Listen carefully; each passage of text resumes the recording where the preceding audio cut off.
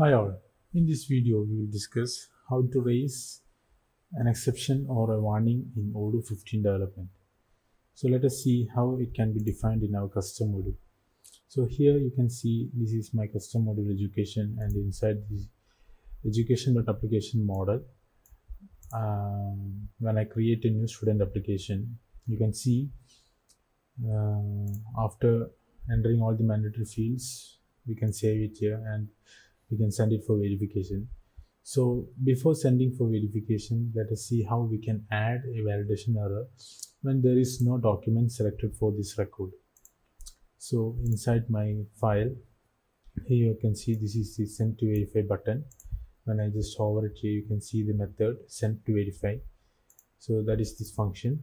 And here I, I iterated it over the for loop and inside this I'm searching for the document IDs inside this model education.documents with the uh, reference as the current model ID so it will search whether the current record inside this education application has a valid document or not. If there is no document IDs that is if not documents then let us see uh, raising a validation error here saying no documents provided please attach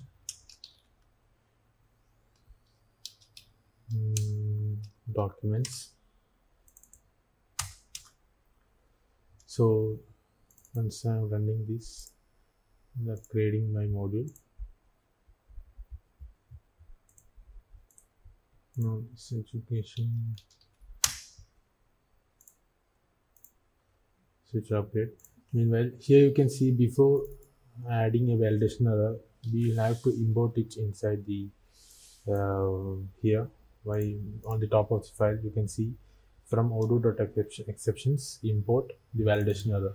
Only then we can call this function for as per our need in order to show uh, the message. So I have upgraded the module and now when I open the record. Currently there is no documents provided so it should show a warning. You can see please attach documents. This is our message we passed and this is how we can raise exceptions or warning in Odoo.